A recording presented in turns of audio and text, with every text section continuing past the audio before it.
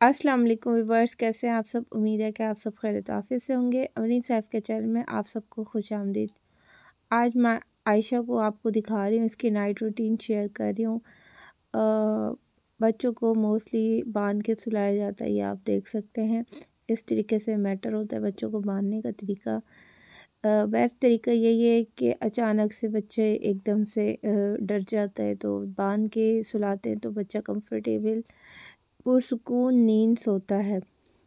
तो बड़े मज़े से आयशा सो रही है। छोटे सा पिलो है इसके सर के नीचे और बेड की चादर के नीचे। थोड़ा सा मैंने इसकी और थोड़ा सा गद्दा टाइप बनाया है क्योंकि कभी ऐसे हो जाता है कि पैम्पर बच्चों का लीक हो जाता है। अक्सर रात को सोते टाइम क्योंकि दिन में तो मदर्स चेक करती हैं लेकिन अमूमन रात में जब सो जाते हैं तो ध्यान नहीं रहता। तो इस वजह से इसके नीचे थोड़ा सा मैंने थोड़ा सा गद्दा बिछा दिया है ऊपर करके इसको।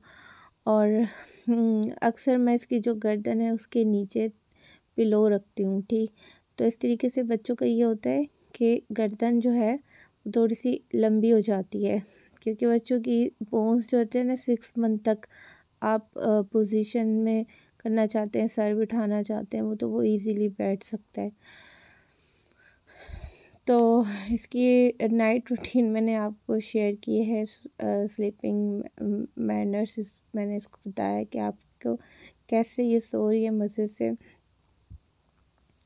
डेली रूटीन मैं आपके सामने शेयर करती हूँ, इसकी चैनल पे न्यू है तो चैनल को ज़रूर सब्सक्राइब कीजिएगा वीडियो को लाइक कीजिएगा, प्यारा सा कमेंट ज़रूर ड्रॉप कीजिएगा। आपको हमारी बेटी प्यारी प्यारी आयशा कैसी लगी? Thank you so much for watching my channel. Allah Hafiz.